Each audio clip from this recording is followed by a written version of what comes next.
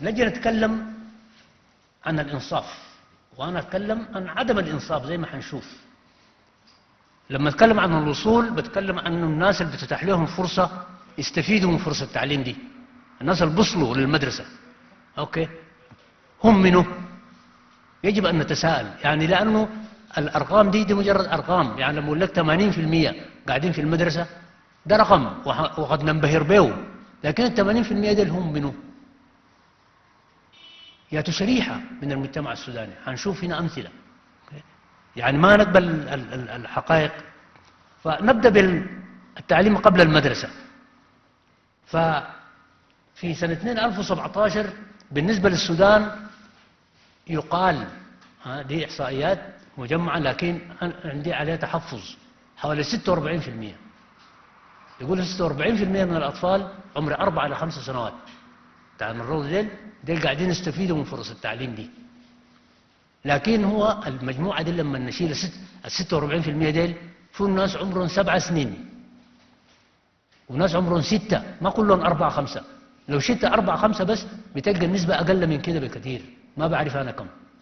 لكن بالتأكيد ما 46 لكن نفترض أنه 46 نفترض أنه 46 حنلاقي في سبعة ولايات فوق المتوسط بتاع السودان 46 الأربع خمس سنوات ديل تتراوح النسبة بين 96% في نهر النيل أو الشمالية ما أذكر و52% في سبع ولايات.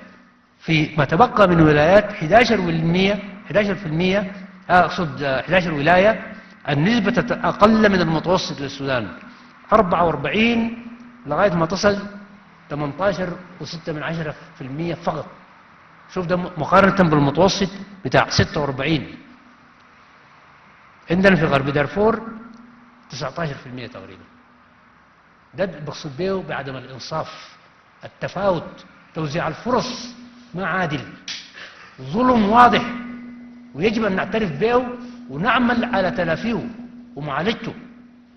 من عاين لسه هي لكن لما نعاين 46% على الأقل نفتكر أنه في كل السودان 46% من الأطفال أربع خمس سنين لاقين فرصة يدخلوا الروضة.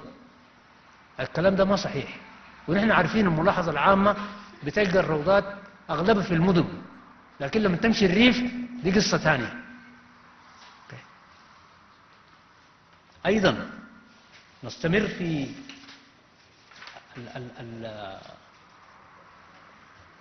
نشوف عدم الإنصاف ده قبل المدرسة بين الحضر والريف وبرضه بين البنات والأولاد البنين والبنات. فنشوف في الحضر النسبة ما في فرق كبير بيناتهم 83 و80% لكن لما تجي في الريف 53 و49 ديل, ديل الأطفال اللي بيدخلوا أولى أساس. في واحدين منهم لقوا فرصة بتاعت روضة وفي واحدين منهم ما لقوا. لكن واضح؟ الفرق كبير جدا بين المدن والريف. وطبعا يا جماعة في عالميا وزي ما أنتم عارفين أنا متأكد لكن بس الواحد يقول للتاريخ زي ما بيقولوا. السنتين بتاعت الروضة ديل عندهم تأثير حاسم على تحصيل الطفل لما ندخل المرحلة الابتدائية. كلها بتوري أنه الأطفال اللي بيجوا في سنة أولى ديل. الفرق في أدائهم في تحصيلهم يعتمد لحد كبير على أنهم هم يتعرضوا للتجربة بتاعت روضة ولا ما تعرضوا. فإذا الأطفال اللي ما بيتعرضوا للروضة دي آه، هم آه، بيكون حظهم أقل من رصفائهم آه، في اللي دخلوا الروضة في أدائهم. ونجي مرحلة الأساس. في مرحلة الأساس نجي بالنسبة للسودان بيقولوا 73.5% ديل لقوا بيقوا يكونوا في مرحلة الأساس. ده العمر بتاع 6 ل 13 سنة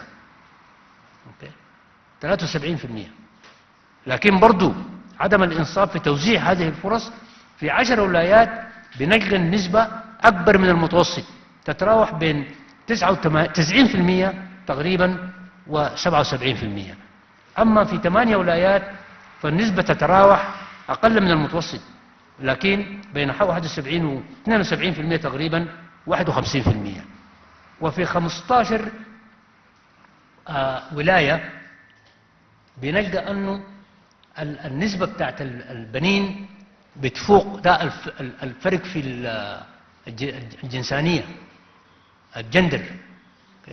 فالفرق في فرق بين الحضر في في توزيع الفرص سوء توزيع الفرص عدم العدالة في توزيع الفرص بين الحضر والريف وبين الذكور والإناث البنات والأولاد. وفي بعد ثاني هنتعرف له بعدين. نجي في مرحلة الثانوي نفس الشيء. المتوسط بالنسبة للسودان 40% من الناس اللي عمرهم 14 ل 16 سنة. ده الأساس بتاع ثلاث سنين ثمانية سنين وثلاث سنين من النظام الجديد. السلم التعليمي القديم ده الحسب ماشي ده. فديل حوالي 40% منهم من الفئة العمرية دي داخل المدرسة. فنلقى في ستة ولايات النسبة أكثر أعلى من المتوسط. لكن في 12 ولاية النسبة تتراوح بين 39 و 20% يقارن النسبة دي بالمتوسط. فعدم العدالة واضح شديد. وبرضه أيضا في فرق بين عدد النسب البنات والأولاد الموجودين في ثمانية ولايات وفي بعض الأحيان يعني مثلا في ولاية القضارف العدد البنات يعني في كل مية من ال... إذا في مية من الأولاد لقوا مرحلة آه، فرصة في فرصة تعليم في الثانوي بنلقى عدد البنات 80 بس. الفرق 20% 20 نقطة مئوية.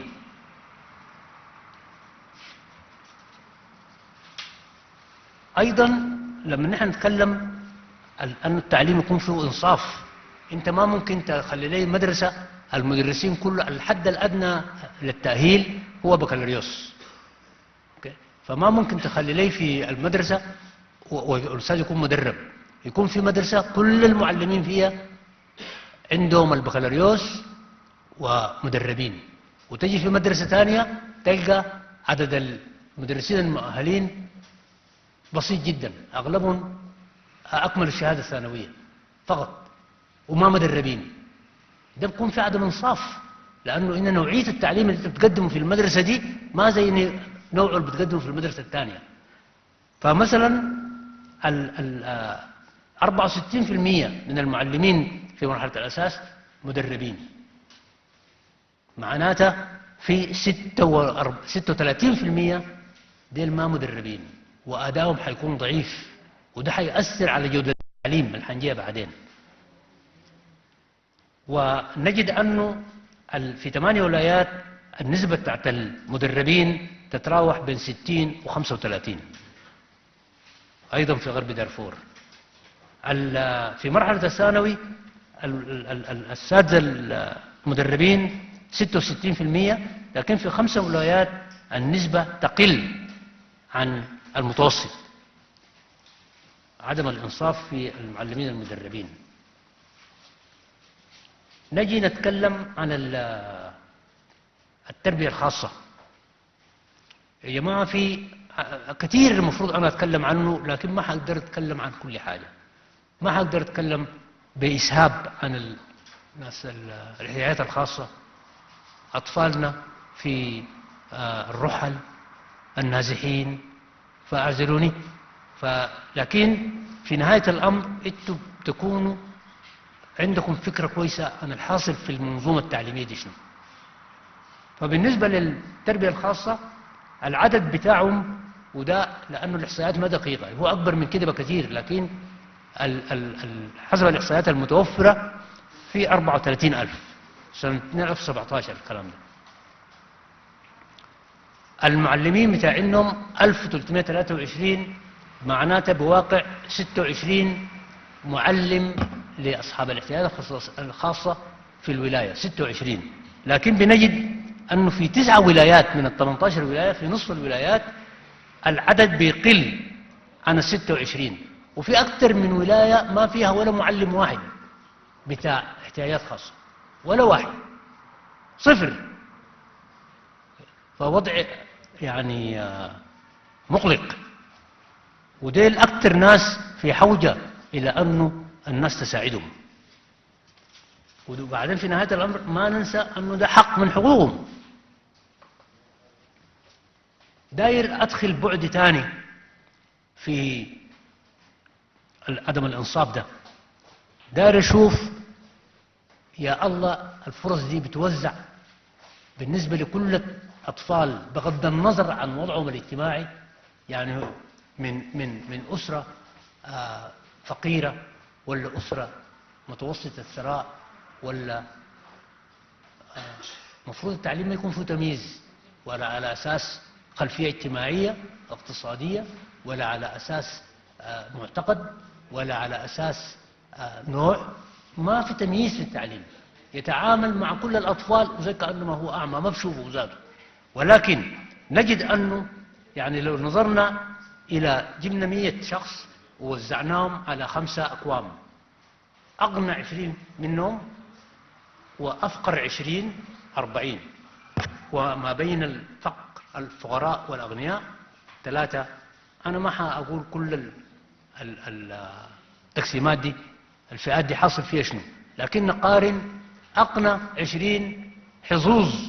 توزيع الفرص للأطفال اللي بينتموا لأقنى عشرين أسرة وأفقر عشرين أسرة. فنجد أنه في الصف الأول بالنسبة لأفقر عشرين في المية واحد وثمانين في المية من الأطفال ديل بيلقوا فرصة يدخلوا سنة أولى الصف الأول. مقارنة بتقريبا مية في المية لأغنى عشرين. كلهم.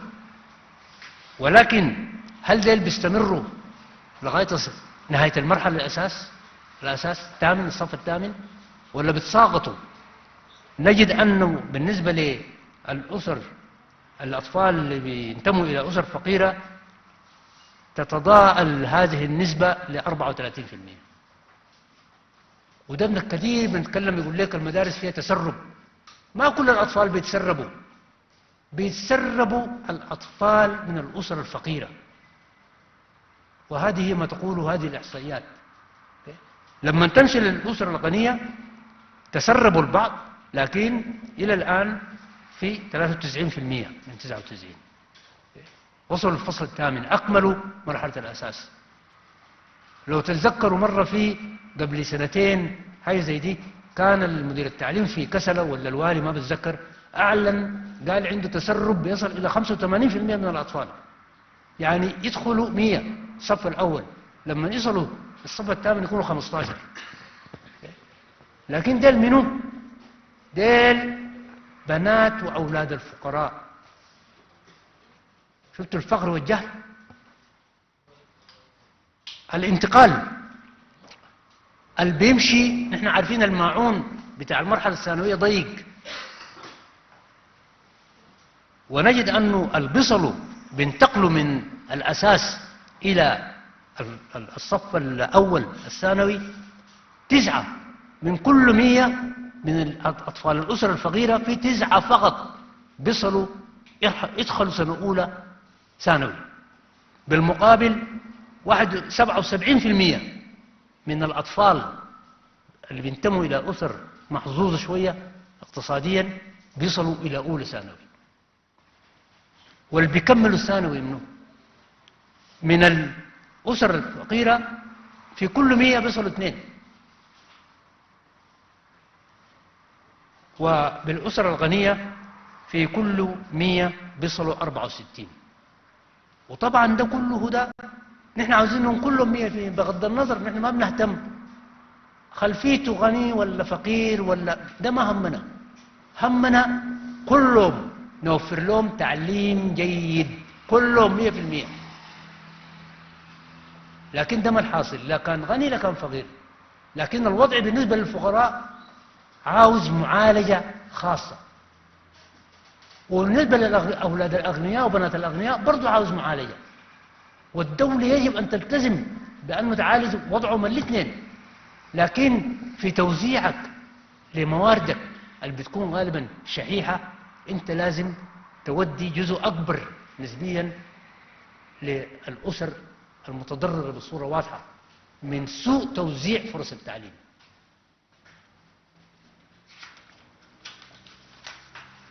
نقوم هنا ندخل بعدين عشان نشوف عدم الإنصاف اللي هو الثروة والنوع بنات وأولاد وغني وفقير أوكي؟ فنجد أنه وحضر وريف عشان الكلام كثير في الحقيقة. لكن المهم بتشوفه من الأرقام دي أنه الفرق في الحضر والريف والبنين والبنات. واضح جدا.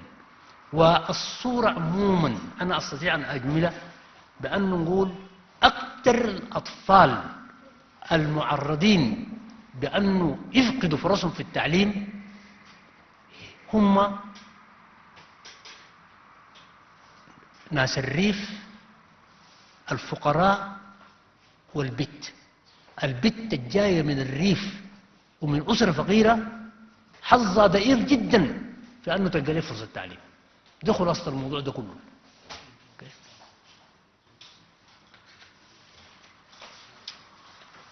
نفس الشيء في مرحلة الأساس. ما نجي فيه عشان آه، بعدين أيضا إذا الأرقام دي ممكن تنظر لها من منظور ثاني بين الأقاليم. الأقليم نقسم الخمسة الأقاليم المعروفة دي الشمال والشرق والأوسط وجنوب غرب. آي. برضو حنلاقي أنه سوء التوزيع بتاع فرص التعليم عدم العدالة. عندكم يعني ما في داعي أنا آه، لكن الفرق يعني الإقليم بتاع الشمال هو أكثر الأقاليم ده كله بالنسبة. هو نحن نقول دائما نعاين نحن دارين 100% لكن بنلقى مثلا الناس اللي بيصلوا الصف ال11 الأولاد والبنات اللي بيصلوا الصف ال11 هم في في شمال زي حوالي 41 من 100 ولكن بتلاقي إنه في الشرق وفي الجنوب جنوب دارفور وجنوب كردفان بتلقى حوالي أربعة أربعة وخمسة فقط. فأيضا الفروقات بين الأقاليم فرص الاستبقاء التسرب. ما عندي فروق كثير لكن هي نفس الصورة. نجي للجودة بتاعت التعليم. الجودة دي فيها مشكلة التربويين ما متفقين تماما أنه لما نتكلم عن الجودة هل ممكن تديني لها تعريف؟ ما في شيء متفق عليه لكن في معايير. يعني مثلا أشوف الإنفاق كم؟ أشوف نسبة التلاميذ في الصف كم؟ أشوف نسبة التلاميذ للمعلم كم؟ أشوف الكتب درجة توفرها. يعني في عدد من المؤشرات. فأنا بصورة سريعة حامر على بعضها لكن حأتوقف عند مؤشر غاية الأهمية وهو في النهاية المؤشر الحاسم. فأما فيما يختص بمثلا عدد التلاميذ في الصف في مرحلة الأساس السودان المتوسط 44 في السودان كله. أشوف كل الأطفال أجمعهم وأقسمهم على عدد الصفوف. باقي 44 لكن 13 ولاية المتوسط بتاع الأطفال في الصف يفوق ال 44 في واحدين بيزيدوا من الستين. وكعارفين نحن في واحدين 80 أوكي؟ ففي مشاكل.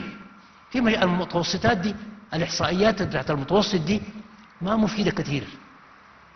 بس فقط توريك أنت عاجز قدر شنو. أنا ما المفروض يكون 40 المتوسط في العالم 30 35 نحن عندنا 44 فيبين لك أن إحنا ما بعيدين من المتوسط العالمي. لكن لما تعاين جوا ها تفتش في الولايات دي تلقى بلاوي. زي ما هو الصورة دي توريكم. دي كلهم 13 ولاية الخط الأسود ده الأفقي ده هو ده المتوسط 44 لكن شوف زي مثلا شمال دارفور. أكثر من 60 في الثانوي الأكاديمي المتوسط 53 طالب في الصف. ولكن هناك في ثمانية ولايات فوق المتوسط. التدريب والتأهيل نفس الشيء. يعني في مرحلة الأساس بنلقى فيه 26% من المعلمين بتاع الأساس عندهم بكالوريوس. المفروض يكون 100% حددت الدولة قالت المؤهل الحد الأدنى للمؤهل عشان أنت تكون معلم في أي مرحلة. أساس أو ثانوي هو البكالوريوس. وفتشنا البكالوريوس دي بنلقى عددهم قليل جدا اللي عندهم بكالوريوس تربية اللي هم يعني أعدوهم عشان يكونوا معلمين. في كثيرين جدا بيكون خريج علوم خريج آداب خريج إلى آخره اقتصاد كثيرين. واحدين ثانوي زي ما قلنا. وفي الثانوي الوضع أحسن لأنه 60% هم عندهم المؤهل بتاع البكالوريوس. لكن 60% عندهم شهادة ثانوي بس بكالوريوس ما في. نجي للكتب ده أيضا مؤشر من مؤشرات جودة التعليم. بصورة عامة بنلقى أنه في مثلا العلوم والرياضيات واللغة العربية واللغة الإنجليزية آه، كل اثنين بالنسبة للرياضيات كل اثنين في صف في بقاسم ويشتركوا في كتاب وثلاثة في اللغة العربية العلوم أربعة في كتاب وأما الإنجليزية ستة في كتاب. فده بقى يديك يعني مؤشر إلى أنه حظ الطلبة ديل في أنهم يعني مهما هم اجتهدوا وثابروا صعب. أنك تكون أربعة وخمسة في كتاب تقدر آه، يكون أدائك متميز. ولكن إذا نظرنا لكل هذه العلوم والفرق بين الولايات ده زي ما قلت لكم دائما المتوسط بيكون تحته فيه أشياء أخرى. فمثلا في الإقليم الشمالي وضعهم في الثلاثة علوم دي العلوم الرياضيات والعربية ممتاز. كل طفل عنده كتاب. لكن الإنجليزية كله ثلاثة. أما بالنسبة لغرب دارفور فبنلقى أنه شوف عدد ال... يعني ديل حظهم في أنه مقدر يلاقي له فرصة عشان يطلع على الكتاب ضعيف جدا. فإذا جاء أداء هؤلاء التلاميذ من هذه الولاية أداء ضعيف يجب أن لا نندهش. لأنه إذا نظرنا على عدد المعلمين المدربين المؤهلين عدد الكتب بالنسبة كلهم في هذه الولاية يعني وضع ضعيف جدا.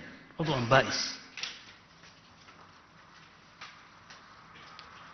بقى أجل المؤشر الحاسم والخطير لأنه في نهاية الأمر أنا أشوف مخرجات التعليم.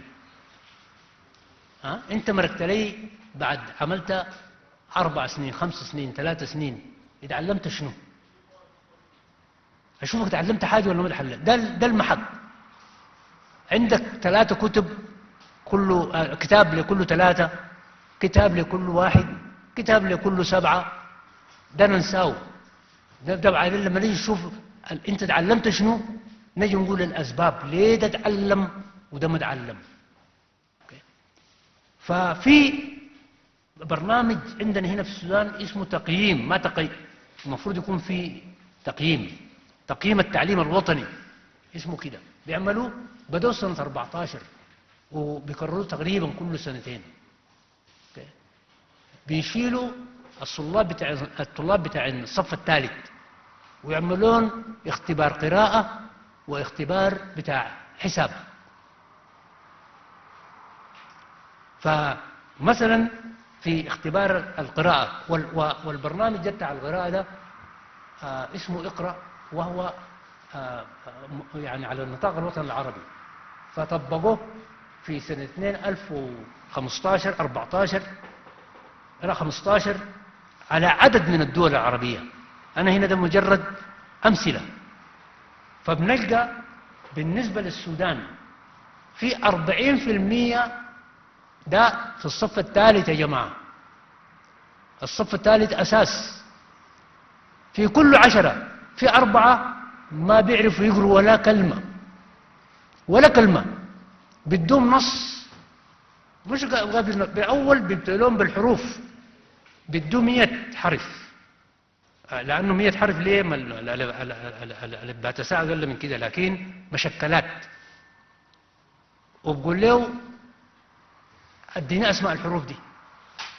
أقرأ قدر ما تقرأ. وبعدين في ستوب واتش بيشوفوه بيعمل بيقرأ كم حرف صح. الطلبة ديل ولا بيعرفوا الحروف.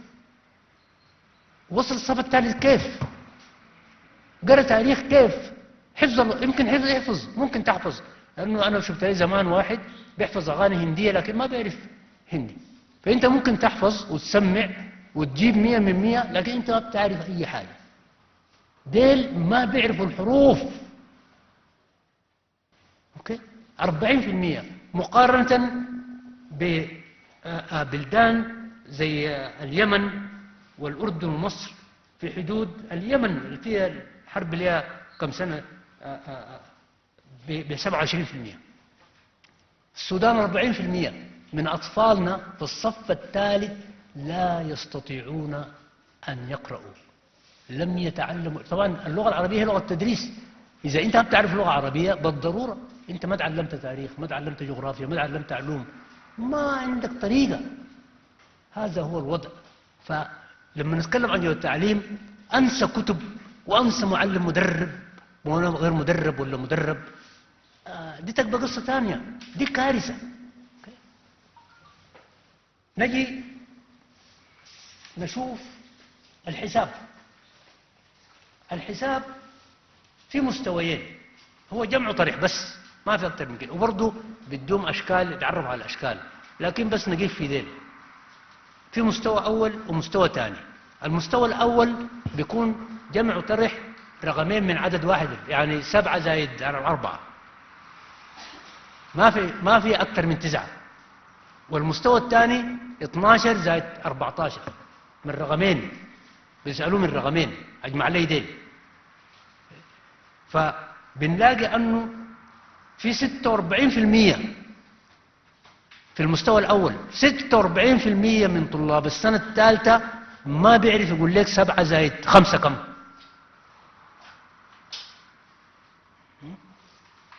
وأربعين في المية تقول له سبعة ناقص أربعة ما إجابة خطأ. أما بالنسبة للمستوى الثاني زي ما قلنا 12 زائد 13 17 ناقص 12 طرحوا جمع بين من العدد من رقمين تتضاءل النسبة لحوالي 38% للجمع و24% بالنسبة لل ده اللي بيجيبوا الإجابة الصحيحة. فإذا نحن نستطيع أن نقول أنه هل ده تعليم جيد؟ سموه زي ما دارين تسموه. لكن ده الحاصل ده اللي عندنا. ويجب أن نقف عنده لأنه لما يجي الوزير بعدين في وزراء الولايات كانوا زمان بيجوا في المرحلة بتاعت الشات الأساس ويقول نسبة النجاح 88% وناسي أنه الطلبة ديل ما بعرفوا اللغة بتاعته اللغة الأم ما بعرفوها اللغة العربية. واللي بيها. فكله كذب. اللي بيقول نسبة النجاح 88% ده كلام فارغ. وهو عارف الحقيقة دي. يكذب على الناس. أولادكم قاعدين يتعلموا. بكل أسف لا يتعلمون. نجي للشهادة الثانوية. جودة التعليم. نفس القصة. بيجوا المؤتمر الصحفي النسبة بتاعت النجاح 79 ولا كم ما بتذكر؟ كم؟ 70% نسبة النجاح. ولكن ننسى أنه الحكاية دي حصلت لها طبخة. دي ما النتائج الحقيقية. طبخت وأعدت زي المؤامرة بتاعت الانقلابات دي. شفت بالليل يدبروا الأشياء ويجي في الصباح نلقى وضع تاني. والجماهير ما عارفة حاجة. نحتفل بالمئة الأوائل ونوديهم آه، آه، جائزة آه، يخليهم يحجوا. ونتكلم نكرم المدرسة الأولى ونكرم يا جماعة خلونا نشوف الواقع. الواقع النتائج المطبوخة دي بيحصل شنو؟ بيجيبوا دي النتيجة كده. بعدين في حاجة اسمها معالجة إحصائية. المعالجة الإحصائية دي بيشوفوا أنه الطلبة راسبين رسوب شنيع في مادة معينة. دي ما بنقدر نوريها للجماهير. ما بنقدر. نقوم نعمل معالجة الإحصائية نرفعهم. كل الراسبين يكونوا 80% منهم نجحوا في المادة. فأنا هنا أديكم أمثلة فقط.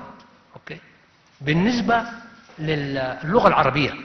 ونحن شفنا اللغة العربية الحاصل منها الأساس في شنو؟ فإذا نتوقع أنه لما نصل الشهادة الثانوية المشكلة تكون باغية. ما بتروح. تروح وين دي؟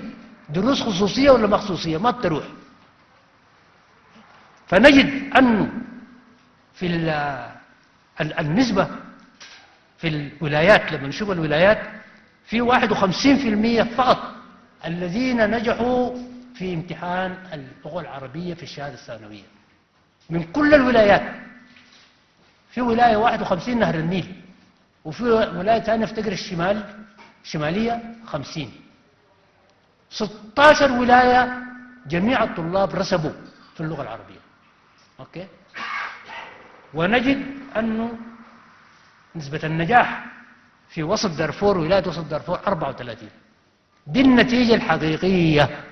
طبعا هي مسألة المعايير الإحصائية دي ما بدعة. لأنه في وضع آه، تعليمي عادي آه، مثلا آه، في الجامعة. أنا يعني خلفيتي رياضيات. ونجي نلقى أنه النسبة بتاعت الرسوب في امتحان معين كبيرة جدا.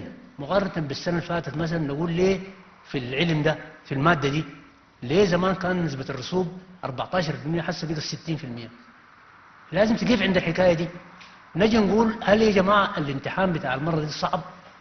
هل الطلبة ما أكملوا المقرر والامتحان شامل المقرر. الأسباب شنو؟ لما نجي نلقى أنه الأسباب لا تعود لأنه الطالب ما اجتهد ولا الطالب ما توفر له كتاب ولا لا. أنه المشكلة الامتحان كان صعب جدا. نقوم نتخذ قرار نقول نعمل معالجة إحصائية لنتدارك موقف معين. لكن هنا المعالجة الإحصائية بتحصل كل سنة وكل سنة الامتحان يهودات بتاع السنة اللي فاتت يعني مثلا في الرياضيات الامتحان على ماذا 15 20 سنة. يا هو نفس الأسئلة اللي بتلقاها في المريح واللي بتلقاها في الرايد واللي بتغير الأرقام فقط. لكن السؤال يا هو السؤال. فإذا ما في حاجة اسمها امتحان السنة صعب ولا ما شمل, شمل المقرر ولا ما شمله؟ ما في. الطلبة يا جماعة ما قاعدين يتعلموا.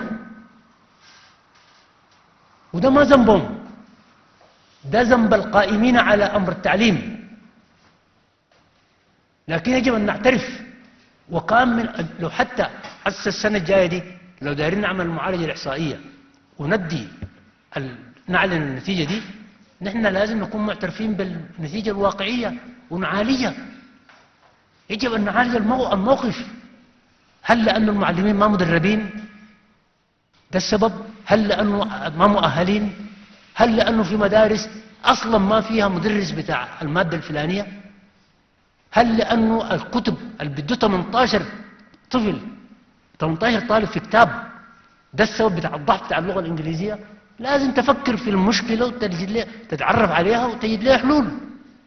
لكن ما تجي تنفخ صدرك وتجي تقول أنا جاوا المية الأوائل دي كلهم جايبين آه، آه، آه، 95% ده كلام فارغ هراء وغش.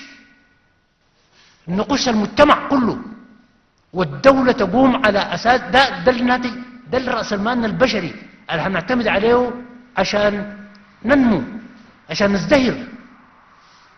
ما ممكن بالجهل نزدهر وبالغش. فإذا هذا في الأمر فيما يختص بالجودة بتاعت التعليم. ودي برضو نسب ثانية بتوريك أعلى نسبة حصوا عليها في مواد كلها ضعيفة للغاية. نجي فيما سميته أنا السمة الأخيرة اللي هي الخلل البنيوي في التعليم منظومة التعليم عندنا. يتمثل في الآتي. كان سنة 61 أو 61 لا أذكر تحديدا كان منظمة الدول الأفريقية حتى الاتحاد الأفريقي تقرر أن يكون في مؤتمر لوزراء التربية في أديس أبابا. واجتمع هذا هؤلاء الوزراء وكان أهم توصية في ذلك المؤتمر اتخذوها قالوا أنه لازم في المرحلة الثانوية نسبة طلاب التعليم الفني الثانوي يجب أن تكون 60% ده سنة 60 61 ونحن سنة 94 95 كانت 11% أصله ما حصلت 30% أصله.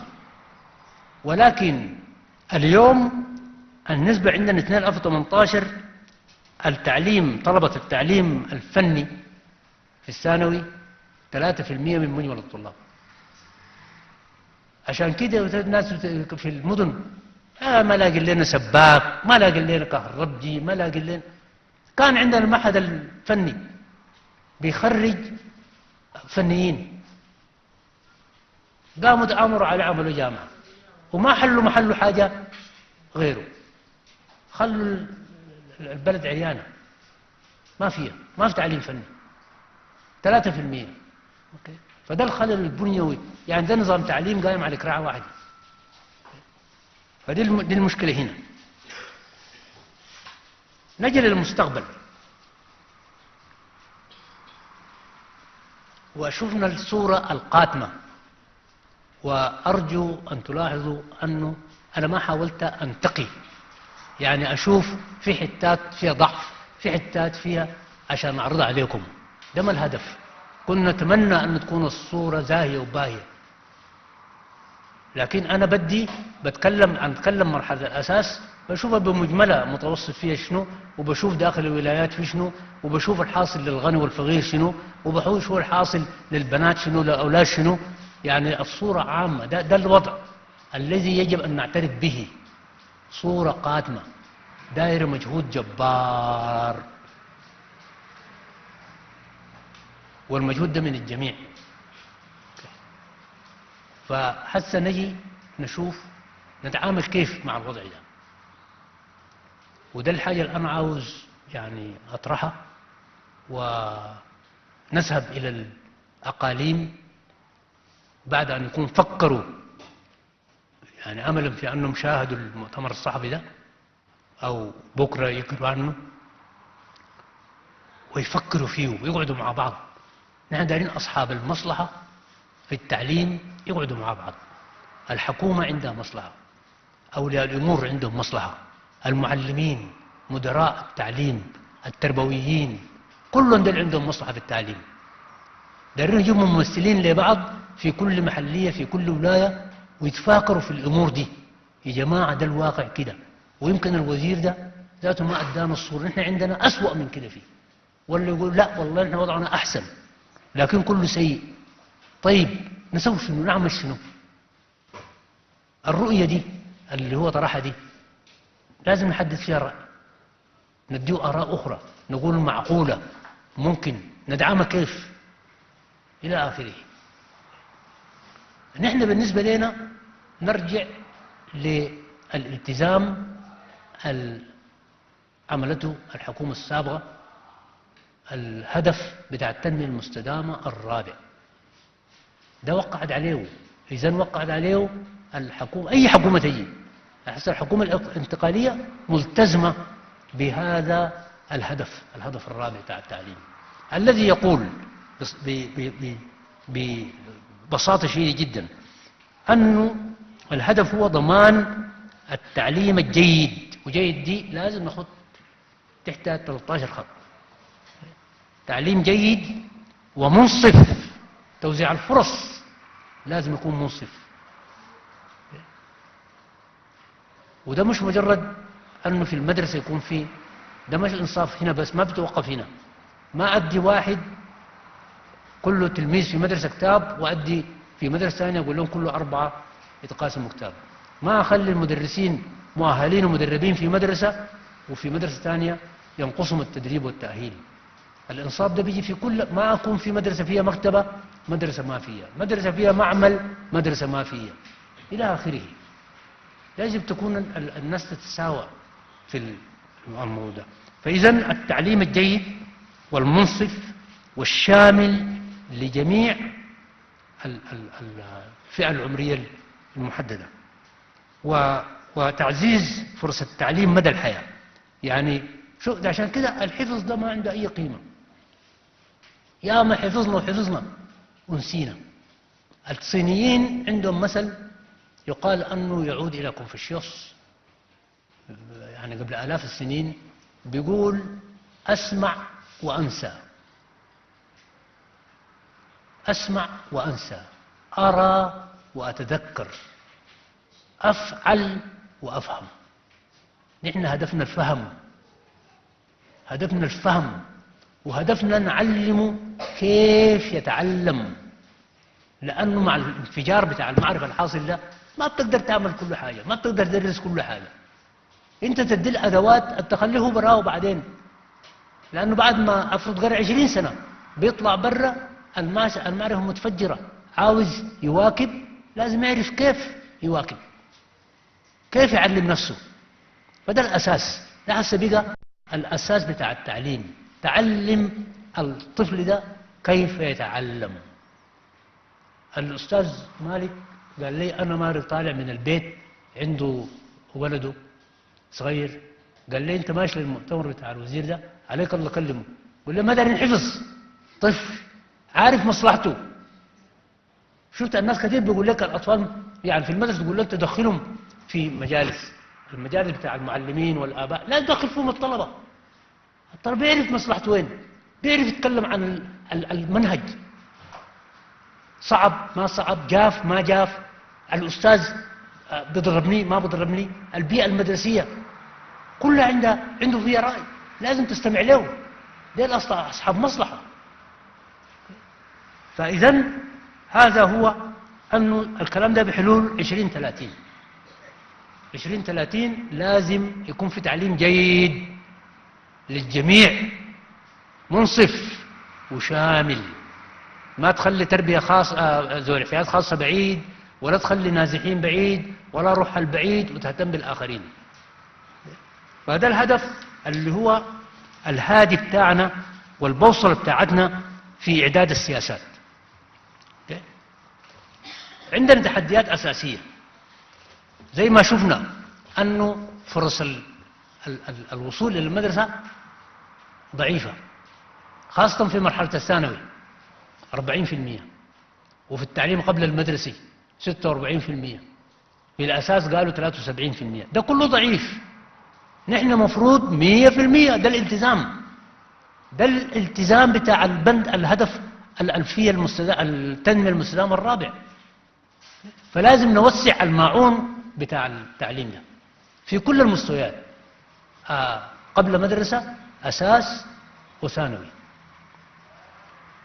جودة التعليم. شفنا أن الطلبة دي ما قاعدين يتعلموا. أوكي؟ وده دايرة دايرة ده شغل شديد وكبير. مجهود جبار. وهذا كله يجب أن نراعي الإنصاف والشمول.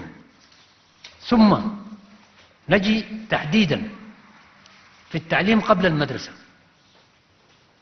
نحن خطتنا أنه السنة الجاية يكون 60% قبل المدرسة 46 الحالي.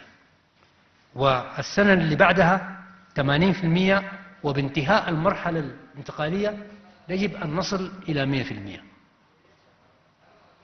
ده الهدف. ثم نجي لمرحلة الأساس. ما حتكلم عن نسبة الاستيعاب يعني في كل الست سنوات بتاعت المرحلة الابتدائية. دارين نبتدي بالصف الأول. تذكروا أنه الهدف تعليم جيد مجاني ومنصف للجميع. نحن صراحة ما عندنا القدرة بتاعت الموارد لو كانت مالية أو بشرية. عشان نجي الليلة نقول من السنة الجاية التعليم مجاني. لكل ال... الناس في المدرسة. ما في. لكن حسب الوضع اللي عندنا نستطيع أن نبين نحن كحكومة أن نحن جادين في مسألة التعليم المجاني والمنصف للجميع بدون استثناء. فرأينا أن نحن من السنة الجاية أي طفل عمره ست سنوات يجب أن نضمن له موقع مش موقع تحت الشجرة لازم يكون عنده موقع في في في في صف. لأنه حس كثيرين عندنا عشر ألف آه، فصل ديل قشت وما عنده سقف أو شجرة أو شمس عادي. ده الواقع. نحن عاوزين نقول أنه السنة الجاية أي طفل لازم يكون قاعد في الصف. تمام صحيح. أوكي. ومجاني. ما في زول يجي يقول لي رسوم مدرسة أدفع للكتاب أدفع رسوم امتحانات. ما في. ده التزام نحن ملتزمين. مش زي لو تتذكروا الانتخابات الديمقراطية الأخيرة كان في كاريكاتير لطيف جدا. آه، زوج وزوجة واضح من الكاريكاتير قاعد لهم في عنقريب بتاع حبل مهترئ فقراء جدا. الراجل ده عنده بس توب لافق بهنا وبهنا وجسمه ثاني عريان ما فيه حاجة. ولابس له شبشب آه، هنا رابطه ربط. وزوجته شبشب برضه مقطع كده. يعني الناس فقراء جدا. المرأة بتقول لزوجها قالت لي أنت يا فلان. أنا سامع في الناس ديل في الرادي بيقولوا البرنامج البرنامج الانتخاب الب... ده الانتخاب ده شنو؟ قال لي أنت تذكري زمان أنا لما خطبتك ما قلت لك حاجب ليك وحاجب ليك وحاجب ليك. قالت لي بالحيل بتذكر. قال لي يهود البرنامج الانتخابي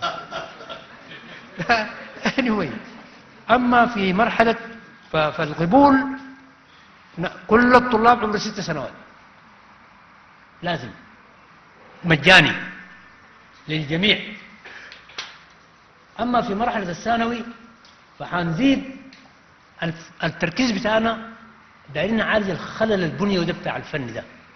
فحنزيد التعليم الثانوي كله أما في الأكاديمي فالسنة الأولى من أربعين يصل إلى خمسين الاستيعاب وفي السنة اللي بعدها خمسة وستين والسنة اللي بعدها ثمانين أوكي.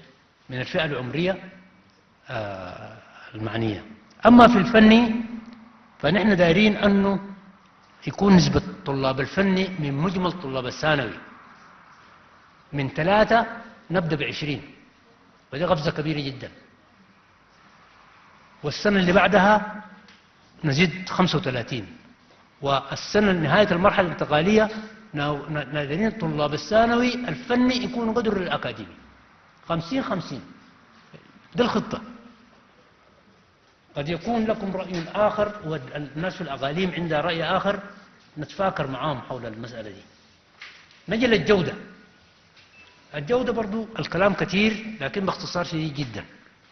نحن حنعملوا نمرة واحد. الجودة أصله عندها ركزتين أساسيتين. المنهج والمعلم. وطبعا البيئة المدرسية مهمة جدا. لكن بس أنا حاسة داير أركز على الاثنين دول أوري نحن نظرتنا شنو. أول حاجة بنعمل مراجعة شاملة للمناهج. من الروضة. وحنبدأ اللغة الإنجليزية من الروضة. ما صف ثالث. زي ما معمول به هسه لكن أهم حاجة مراجعة شاملة. وتأخذ في الاعتبار التجارب العالمية المتميزة. وتأخذ في الاعتبار واقع السودان. تعدد ثقافات وتعدد والمشاكل مشاكل الحروب والسلام. تأخذ السياق السوداني في الاعتبار. لكن في معايير فيما يختص بالمستويات الأكاديمية وجودة المنهج ومتانته دي معايير عالمية متعارف عليها. ونحن ما ننسى أنه الكوكب ده بقى زي ما نقول بقى قرية واحدة. فلازم تفكر برضو إقليميا وطنيا وإقليميا وعالميا في إعدادك للمناهج. الحاجة الثانية هنعمل تكثيف لمسألة التدريب بتاع المعلمين. خاصة هنركز على الإنجليزي اللغة الإنجليزية والرياضيات والعلوم. بعدين يعني دي حاجة مدهشة جدا. هل يعقل أنه أنت تدرس علوم لغاية ما تصل تدخل الجامعة؟ يكون أنت ما سمعت بحاجة اسمها تجربة. العلوم دي أصله لو ما في تجربة ما في حاجة اسمها ذات علوم. ما ممكن تكون مجرد نظري. فنحن عندنا هسه الناس بيقروا ما في معامل لا في الأساس ولا في الثانوي ده وضع لا يستقيم. يجب أن يعالج. فنزود المدارس بالمعامل.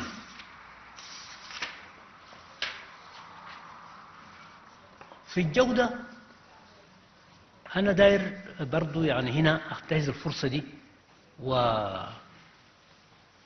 وأشيد وأحيي بعدد كبير من السودانيين يعني بدون ما في حد يتكلم معاهم. شعرين بأن التعليم ده حاجة مهمة وفي حاجة غلط فيه ولازم يساعدوا. ففي مبادرات كثيرة جدا. والقطاع الخاص بعد يساعد وأفراد بس تلقى زي ما يقولوا قلبه ده حربه يقوم طوالي يعمل ففي عدد كبير من المبادرات. ونحن يعني نحييهم ونشد بهم ونقول لهم تعالوا نقعد مع بعض وننسق. فلو اتصلوا بالمكتب في الوزارة عشان نجي نشوف طريقة نقعد كلنا مع بعض وننسق الجهود. ما يكون كل واحد ماشي في اتجاه. هي كلها اتجاهات مثمرة ومفيدة لكن بالتنسيق بيكون النتيجة أجهد فمثلا في مبادرة مشروع المكتبات مكتبة الأطفال. دي آه، مش 128 المكتبة من 300 كتاب. وفي أغلب الأحيان بيكون في شخص واحد يقول لنا يا جماعة أنا متبرع لكم بمكتبة بس خطوها لي في مدرسة فلان. خطوها لي في المدرسة في القرية الفلانية. إلى آخره. حسهم آه، لغاية الليلة شيدوا أكثر من 1400 مكتبة. في الأساس مرحلة الأساس. نحن ناويين نبدأ الثانوي مرحلة الثانوي. حننشئ مدرسة آه، مكتبة من 250 كتاب ابتداء في كل مدرسة ثانوية وزي ما قلت في المبادرات دي كثيرة جدا. يعني أنا بعرف عدد من المغتربين ديل بيكونوا بنوا مدرسة كاملة في قرام ففي المبادرات كثيرة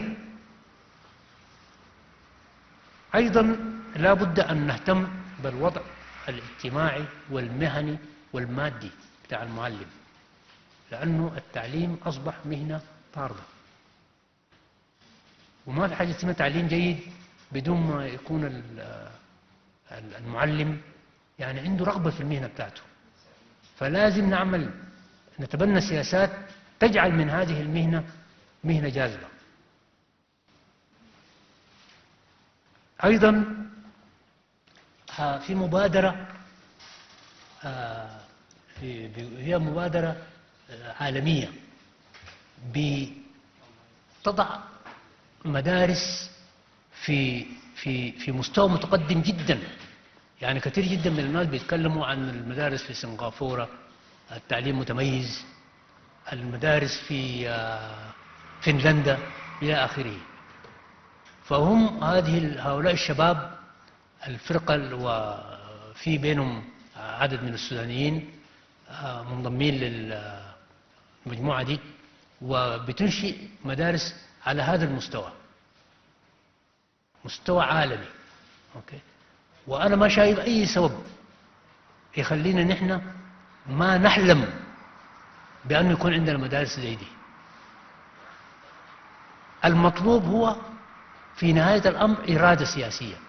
أن تقول أنا حأعمله لو أنت قررت ما في مشكلة. فنحن مفكرين في أنه نسميها مدارس القرن الواحد وعشرين عشان نوري أن إحنا عايشين في في في القرن ده. والمدارس دي هننشئ منها عدد بسيط جدا كنموذج. كنموذج. عشان بعدين الناس يشوفوا النموذج ده. هل فعلا حاجة مختلفة؟ والمخرجات بتاعاتها طلاب اللي بيتخرجوا من المنظومة المدرسة بتاع القرن 21 دي مختلفين بصورة جذرية من الطلاب الآخرين اللي بيتخرجوا من مدارسنا ان إحنا ماشيين النظام بتاعنا ده ولا لا؟ فنحن قررنا أن نذهب في هذا الاتجاه وندعم هذه المبادرة ونتبناها ويكون عندنا تعليم على مستوى عالمي. مع مرور الزمن. نحن ما نقدر بقرار سياسي نقول كل مدارسنا نعملها في مستوى فنلندا ولا أعلى من فنلندا ولا في سنغافورة. بعدين طبعا الإنفاق ده شيء مهم جدا. الحكومة التزمت بأنها تضاعف مستوى الإنفاق على على التعليم. وستصل آه، تدريجيا إلى 20% من الإنفاق العام ميزانية الدولة ستخصص للتعليم. وده المعيار المتفق عليه عالميا. أقل من كده أنت ما ما ما تقدر يكون عندك تعليم واسع للجميع وجيد. يستحيل في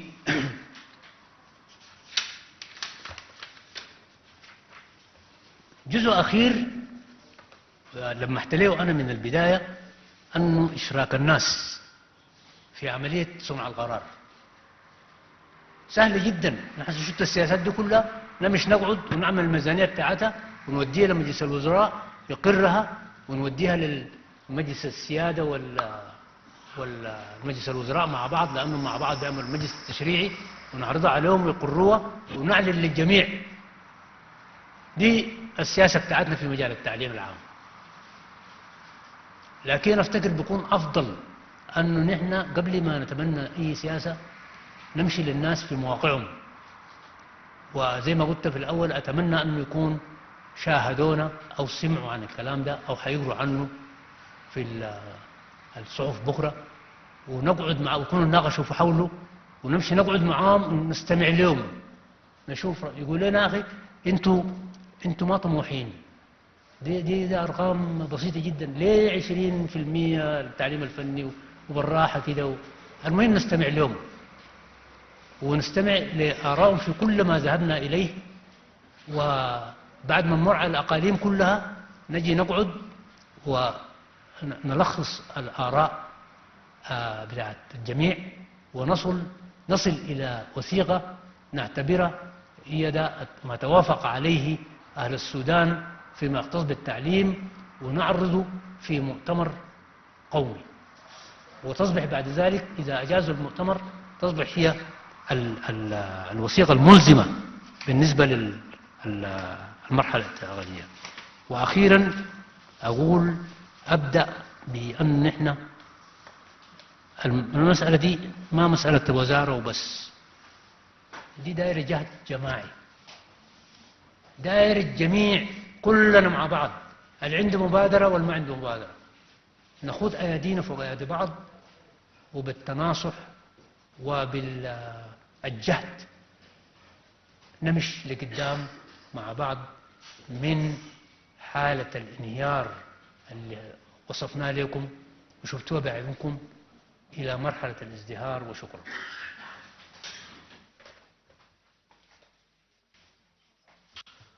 آه.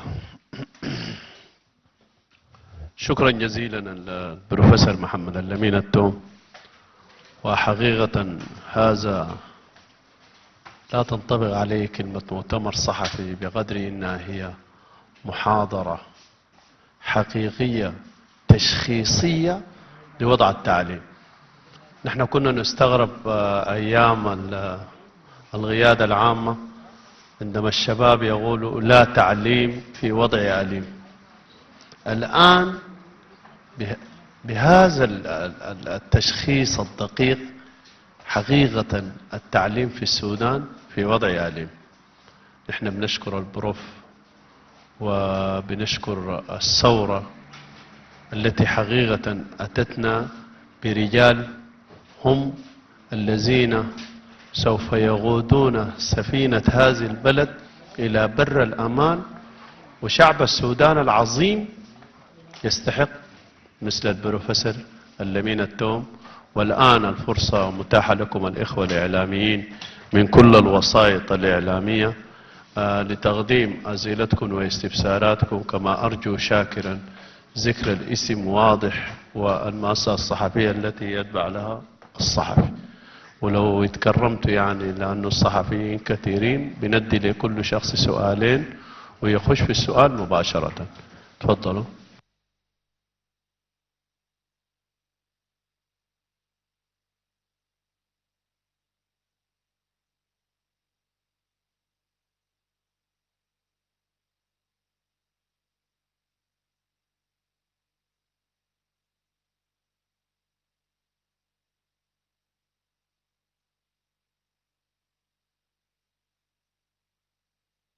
السلام عليكم. أنا صابر حامد الانتباه.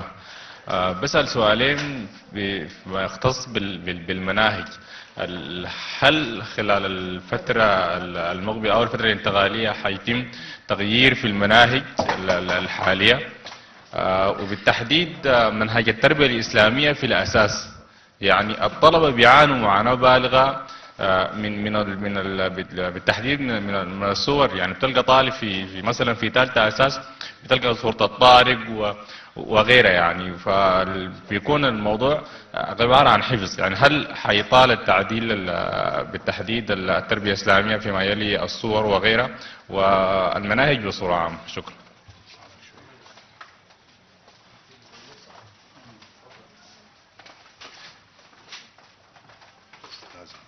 استاذة دي منصة أستاذ.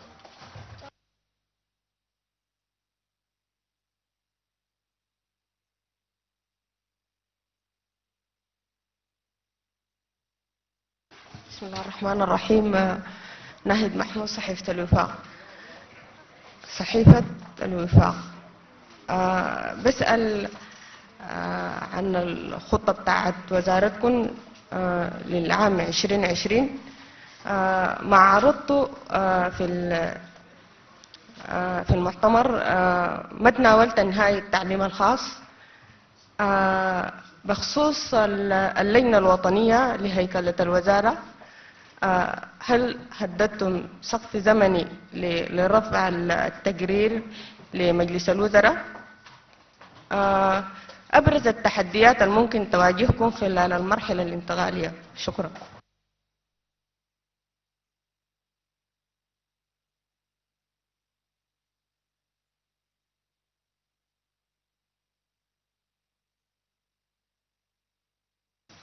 اللجنة الوطنية تحت الخبراء هيكلة الوزارة. هيكلة وزارة التعليم. آه، حددت زمن لرفع التقرير لمجلس الوزراء.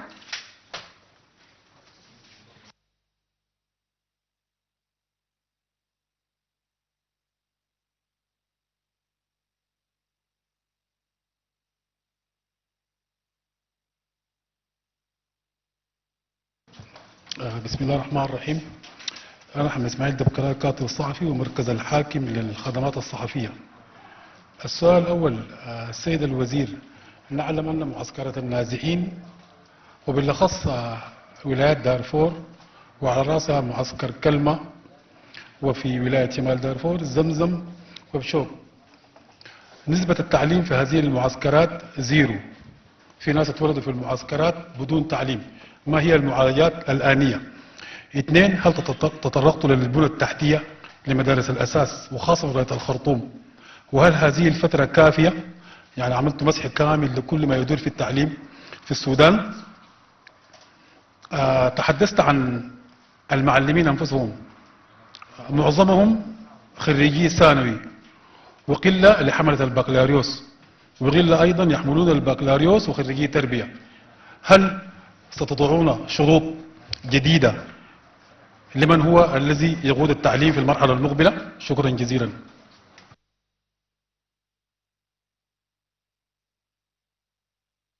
طيب بسم الله الرحمن الرحيم. مصطفى عبيد الله قناة الشروق الفضائية. زمان كنا بنسمع فيما يتعلق بالتأهيل تأهيل المعلمين في حاجة اسمها المعايرة التربوية.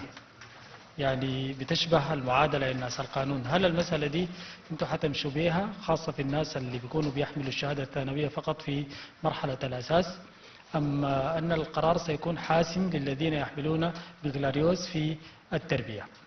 السؤال الثاني بسأل عن التعليم الخاص. ما له وما عليه؟ خلال خطتكم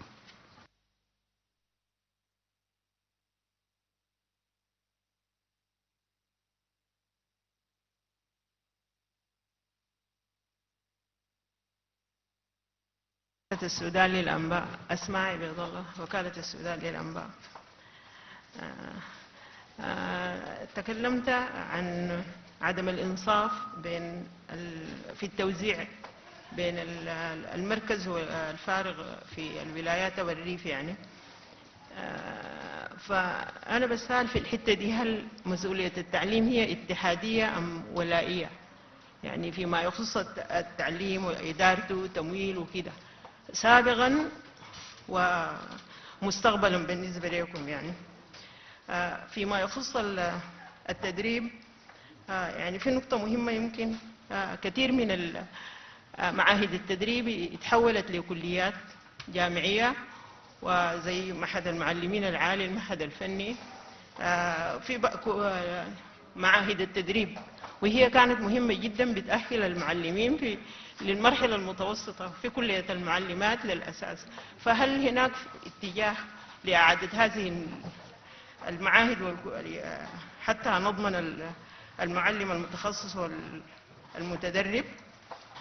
في حتة برضو مهمة بتاعت ال- المناشط المدرسية.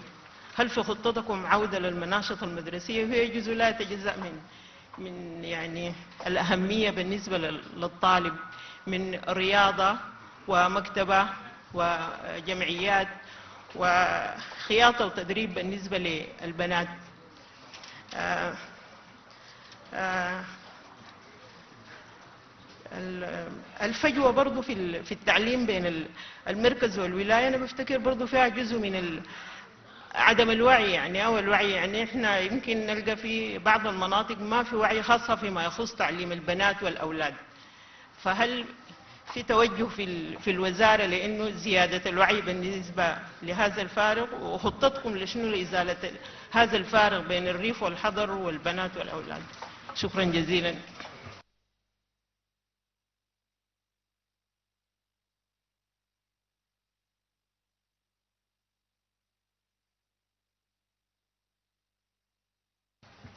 بسم الله الرحمن الرحيم. الاسم جادين أحمد جادين قناة المعرفة والتغيير. طيب آه، أنا بالواقع اللي عايشه حاليا أنا بقضي في الخدمة في إحدى المدارس الثانوية. يمكن أقل أستاذ بدرس مواد أو بدرس حصص في في الأسبوع آه، 15 حصة. أو في اليوم نقول ممكن 15 تقول لي في اليوم عادي. مثلا أنا في المدرسة اللي بدرس فيها في أستاذ إنجليزي واحد في كانت أستاذة ثانية لكن آه، أصاب سرطان وحاليا مقعدة في ال- ال- البيت. حاليا في أستاذ واحد. ال- النغابة بتاعت التعليم أو, أو ال- ال- الوحدة الموجودة ل- الموجودة بالمنطقة اللي فيها أنا ما قدمت أي أستاذ ثاني. جابت أستاذ هنا من الحاج يوسف مع إنه المدرسة في ولاية الجزيرة تابعة لمحلة الكاملين الحاج يوسف عندها يومين تيجي تدرس في اللغة الإنجليزية. والطلاب حاليا شابتر 1 أو شابتر 2 ما حصلوا. بالذات ناس المرحلة الثانوية أو بالذات ال- ال- الصفوف الثالثة سواء كان أدبي سواء كان علمي.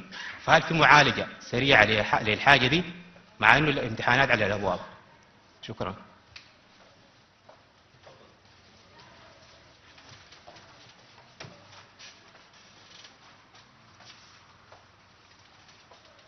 طيب بسم الله الرحمن الرحيم. الفاتح أمير. صحفي كاتب صحفي. ومؤسس من مؤسسين صحيفة التعليم التي أوقفتها وزيرة التعليم السابقة. وأتمنى من السيد الوزير إعادة هذه الصحيفة يعني. الحقيقة يعني صحيفة التعليم. نعم كانت في وزارة التربية والتعليم. صحيفة كانت يعني منتشرة توزع مجانا. كانت في وزارة التربية والتعليم. أوقفتها الوزيرة سعاد عبد الرازق. كانت منبر لكل المعلمين وكانت آه، يعني رسالة رسالة المعلم. الحقيقة ده أنا أقول للسيد الوزير أنه التعليم ده يعني بحسب خبرتنا وجولتنا في المدارس والشيء الحاصل داخل المدارس التعليم بتاع الأساس ده أول شيء يحتاج لورشة. ورشة لمناقشة حاجات كثيرة منها البيئة المدرسية. ومن ضمن البيئة المدرسية دي في حوادث حصلت كثيرة في المدارس داخل المدارس. في الفترة السابقة النظام السابق ما اشتغل بها ولا ادى اهتمام. كم من معلمة ماتت ووقعت في بليوسي يعني البيئة المدرسية دي محتاجة ده ده أنا أنا بعتبر أن الشغل ده داير ورشة ورشة بتاعت عمل كل الصحفيين وكل المعل... جزء من المعلمين ومدراءات التعليم يشاركوا في الورشة دي خاصة تعليم الأساس ده في حاجات كثيرة داخل المدارس دي الناس منها الرسوم. هي ما رسوم مدرسية لكن بيقولوا عليها شنو؟ مساهمات من الآباء. بيشاركوا بها عشان ينموا بها أولادهم. بدل ما يدفعوها للمعلم في دروس خصوصية أو بيعملوها بيدفعوها للمدرسة عشان المعلم ده ذاته يأهل لهم الطالب بتاعهم. فأنا بفتكر الشغل ده داير ورشة. ورشة كاملة للتعليم الأساس. الناس تتناقش فيه ومنها تطلع توصيات التوصيات دي الوزارة تتخذ فيها قرار ده موضوع. الموضوع الثاني يا سيد الوزير القرار بتاع قبول طلاب الأحياء في كليات الهندسة الجامعية. وهذا القرار يعني قرار ظالم للطلاب. يعني لاحظنا كثير من طلاب طلاب بتاعنا الهندسية في المراحل المرحلة الثانوية يعني مش مئزين من هذا القرار يعني. أنا ما أعرف دور وزارة التعليم العام اللي بتأهل الطالب بتاع الأحياء والطالب بتاع الهندسية بتأهلهم على أساس يمشوا للجامعة. هناك تجي الجامعة طالب الأحياء الساقط في المادة بتاعت الأحياء تدخله يمشي يقرأ, هندسية. فالقرار ده ظالم للطلاب بتاع الهندسة وظالم للمعلمين ذات من الهندسية. المادة بتاعت الهندسية دي دخلت في 2000 2001 بديل لمادة الرياضيات. الإضافية مادة الرياضيات الإضافية. فما عارف دور وزارة التربية والتعليم شنو في القرار يعني القرار بتاعنا الطلبة بيتأهلوا هنا هندسية بيدرسوا هندسية يعني بيتخصصوا هندسية. هنا آه، ميثاق هندسي وميثاق علمي هندسي وهنا ميثاق آه، علمي أحياء. لما نيجي شهادة الجامعة ده سقط في الأحياء يخشوا يدخلوه يدرسوه يمشي يخش يدرس هندسية. أنا ما أعرف الوزارة دورها شنو في الحاجة دي والكلام ده كله جه في العهد السابق يعني العهد الظالم وأنا والله من هذا المنبر يعني للأسف الشديد بس ما اول شيء آه، تحياتنا لكل ال- الشهداء. وعلى راسهم الشهيد أحمد خير المعلم المربي معرفتنا معه وعلاقتنا معه يعني في المفروض اول كلمه نحن نقولها لكن الانفعال بتاعنا الواحد يتكلم يعني. فأنا أتمنى من أنه الوزارة يعني يكون لها دور في هذا ال- القرار الجاير على طلاب ال- الهندسية. آه. جزاك الله خير. السلام عليكم ورحمة الله. آه، مصطفى الزواوي من قناة طيبة. آه، تحدثت سيد الوزير عن آه، جودة التعليم في الكثير من المحاور لكن كنا كثيرا ما نحلم بال إذا ما كان هناك محتوى يتم تدريسه لكل ال- المراحل المختلفة الوسيلة التي تقدم بها هذا المحتوى. كنا كثيرا ما ننظر إلى الدول المجاورة هم يلقون أبنائهم أو طلابهم بوسائل كثيرة هي وسائل تكنولوجية وسائل حديثة الطريقة التي يقدم بها المحتوى التعليمي فهل للوزارة اتجاه لتطبيق مثل هكذا وسائل أم ماذا؟ شكرا جزيلا هو سؤال واحد فقط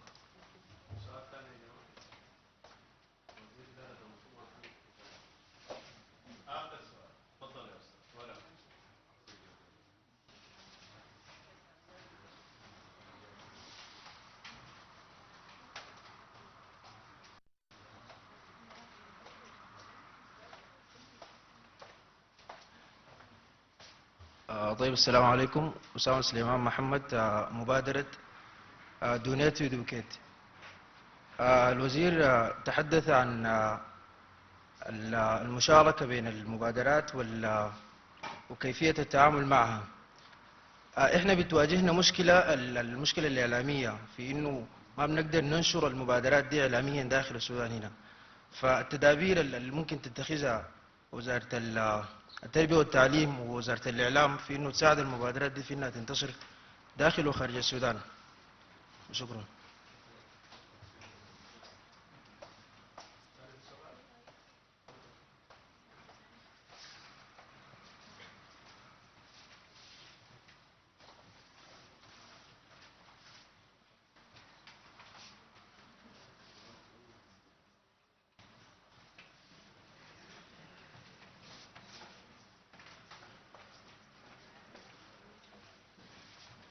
السلام عليكم ورحمة الله.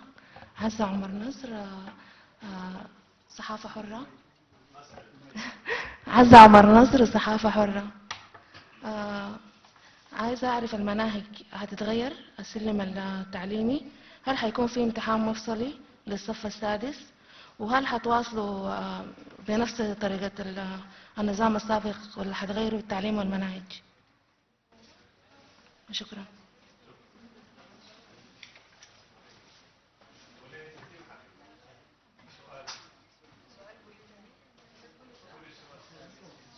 سادس في في سادس في هل هل حتواصلوا بنفس النظام السابق السلم التعليمي ولا حتغيروا المناهج؟ السلم التعليمي السلم التعليمي أيوه يعني هل حيكون هل حيكون في امتحان مفصلي للصف السادس؟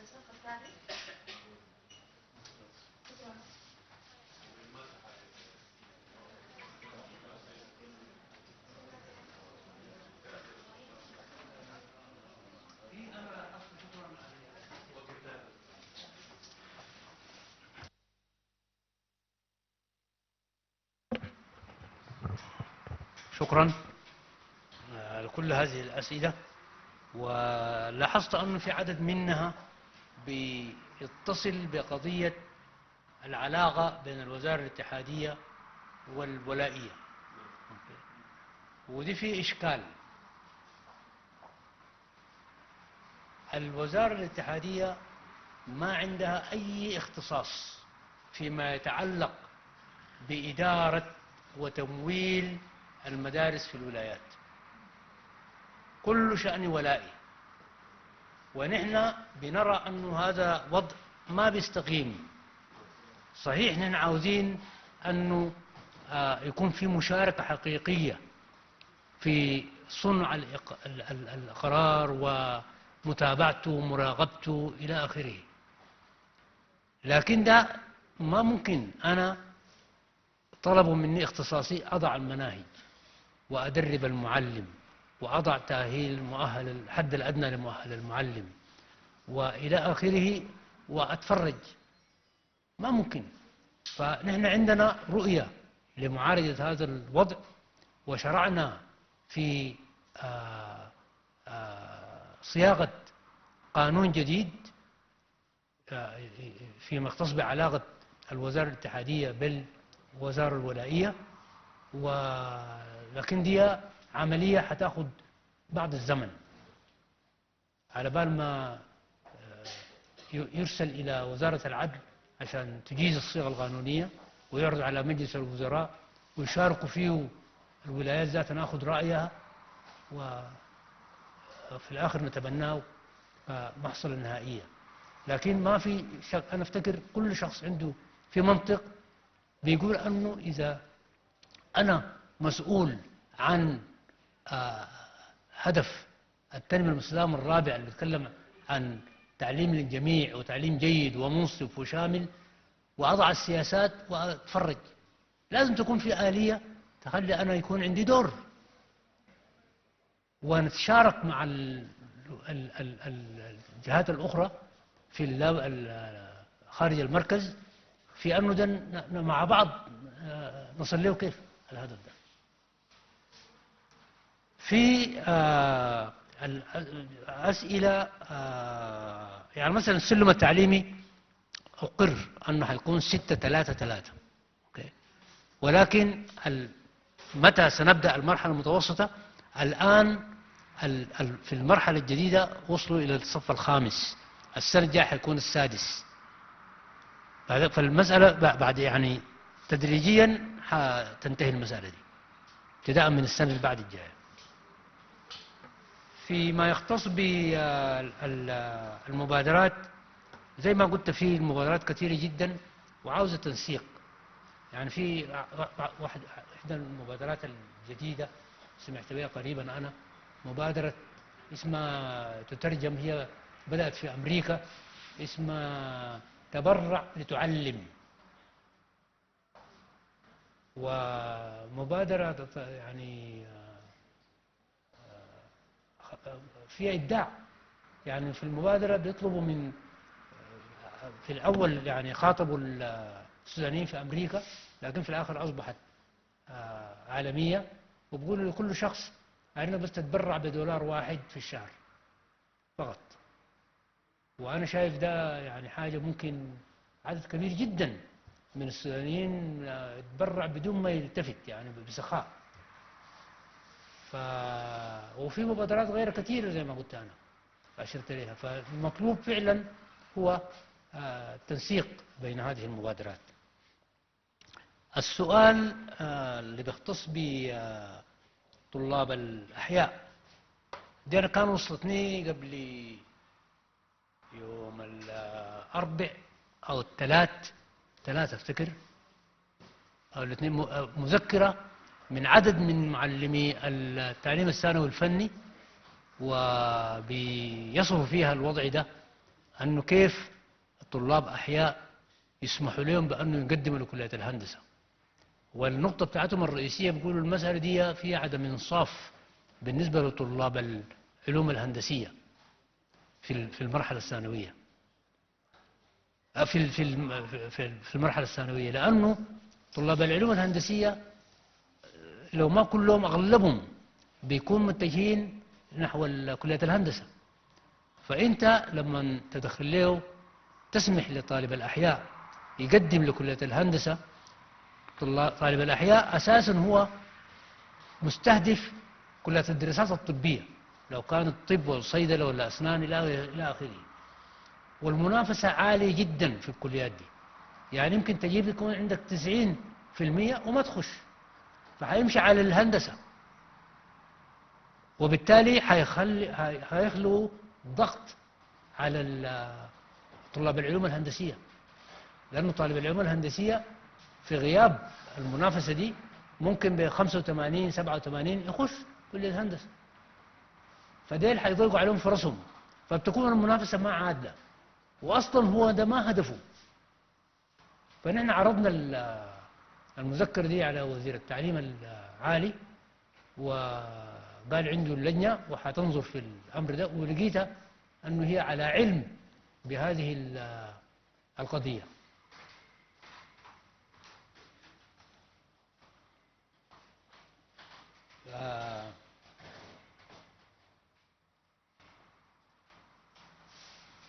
التعليم الخاص في نحن كونا له لجنة لها زي شغالة زي عشرة أيام وبتنظر فيه وبتنظر في قانونه. لكن أيضا في نهاية الأمر يجب أن يتم في إطار العلاقة الجديدة بين الاتحادي والولائي آه، الهيكلة ال- آه، اللجنة اللي كوناها انتهت من إعداد تصور للهيكل الجديد الهيكل التنظيمية وعرضته علينا ولكن الحوار دائر. أتصور أنه في ظرف عشر أيام حنصل لتوافق وحنرسله لوزارة العمل ووزارة العدل للصياغة القانونية وإجازته وبعدين يمشي على مجلس الوزراء آه، في سؤال في الأول كان أفتكر لو سمعته صح ال- العدد المهول بتاع السور في التربية الإسلامية يعني بيطلب الطلاب هاي. نعم هاي. ف- فأنا زي ما قلت نحن هتحصل في مراجعة شاملة للمناهج. وزي ما قلنا يعني هي ذات حاجة غريبة. يعني زي ما أنتم شفتوا 40% من طلاب الصف الثالث ما بيعرفوا يقروا. فايه المعنى أنك أنت تحفظه حاجة هو مش ما ما ما قادر يقرأ ذاته يعني. لكن المهم المسألة دي كلها ستتم مراجعتها كل ال- ال- ال- المناهج كل المواد ما حاجة واحدة يعني. وفي إطار آه، مفاهيمي معين.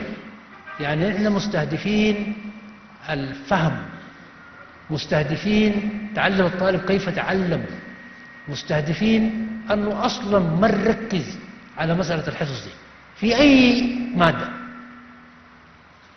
الحفظ عاوز يحفظ بطريقته الخاصة عاوز عاوز يحفظ شعر عاوز يحفظ آه قرآن كريم عاوز يحفظ آه علوم امشي يحفظ لكن ده ما المعلم دي ما مهمته. مهمته الفهم. مهمته أنه يساعدك في أنك أنت تعلم نفسك. داير تعمله في نفسك امشي اعمله ففي إطار عام لصياغة المناهج وهتكون المسألة تعالج في داخل هذا ال- الإطار. آه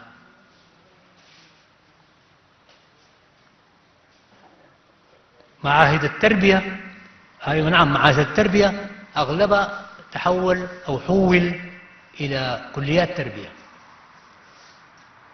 ونحن بنعتقد أنه الحاجة الأساسية هنا أنه يتم تعاون بين الوزارة وكليات التربية المختلفة. أول حاجة نحن بيهمنا في المقام الأول البرامج تأهيل المعلم اللي بتقدمها كليات التربية المختلفة. نحن عندنا فيها وجهة نظر فلازم نقعد مع بعض ونوصل وجهة نظرنا ونستمع لوجهة نظرهم ونتفق على برامج يكون فيها إعادة تأهيل لأن التأهيل الموجود البرامج اللي بموجب يتم تأهيل المعلم الآن نحن ما راضين عنها وبدأنا هذه المسألة بجامعة الخرطوم وقبل ما يقرب من الشهر تقريبا آه، جلسنا مع بعض ووفد برئاسة عميد كلية التربية جامعة الخرطوم واتفقنا على أنه نعمل مذكرة تفاهم آه، تؤطر لهذا التعاون واتخذنا عدد من القرارات من بينها أن إعادة النظر في البرامج دي وأشياء أخرى يعني. ونأمل أنه دي تكون مع كل كليات التربية في السودان. آه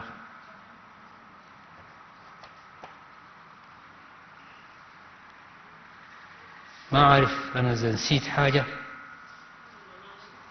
نعم؟ المناشط. الم- دي حاجة ال ال ال ال ال ال الحياة اللاصق فيها دي دي غاية الأهمية. أنت أي معظم الوزارات بتاعت التربية دي تقول لك لازم تكتشف تساعد التلميذ في أنه يكتشف المواهب بتاعته. مواهب مهارات وتساعده في أنه يطورها وينميها. وده المناشط خارج الصف بتلعب فيه دور أساسي. فنحن مهتمين جدا بأنه نكتشف منو اللي حيطلع شاعر منو اللي حيطلع موسيقي منو اللي حيطلع درامي منو اللي حيطلع إلى آخره. لأنه زي ما شفنا في أثناء الثورة المجيدة دي. شفنا في الساحة بتاعت الاعتصام ده كمية الإبداع. شفناه حاجة خرافية. ففي كامن رهيب وسط الشباب والأطفال دي. فدي مهمتنا. إحنا كيف نعيد مناهج وندخل فيها مغرات غير مناشط غير صفية عشان نكتشف المناهج دي. ومش بنكتشفها بس كمان نساعد في تنمية التطوير. دي حاجة أساسية أوكي؟ وحتسهر هتسهر في الصياغة بتاعت المناهج الجديدة. هي مش مجرد المواد المعروفة دي فقط لا أيضا لازم تستصحب معاها طبيعة ال- ال- ال- ال- المقررات الغير صفية دي وكيف آلية تنفيذها وكيف تدرب معلمين عشان يكونوا ناجحين في في هذا الاتجاه. فمهم. أعرف لو في في سؤال ما قضية شنو؟ هل من عودة لكلية المعلمات؟ كلية المعلمات والله في الوقت الحاضر رؤيتي الشخصية لا لكن زي ما قلت لك أنا حامشي وأتشاور مع عدد كبير جدا من الناس. لكن أنا شايف كلية التربية عندنا 38 كلية تربية 38 و- وحس حسب معلوماتي بيقولوا نحن لما نتكلم عن في نقص في المعلمين المؤهلين بيقولوا أنه في كمية من خريجين كليات التربية عاطلين عن العمل. وده يعود سببه في تقديري. واحد من أسبابه أنه المهنة بقى أصبحت طاردة. فلو نحن تبنينا سياسات تصلح الوضع ده تجعل المهنة جاذبة آه، في ممكن آه، يعني نستوعب عدد منهم.